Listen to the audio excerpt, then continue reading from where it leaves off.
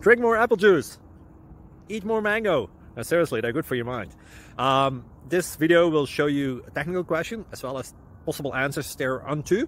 So have a look if it will help you out. And um, would you please subscribe and like? Thank you. God bless.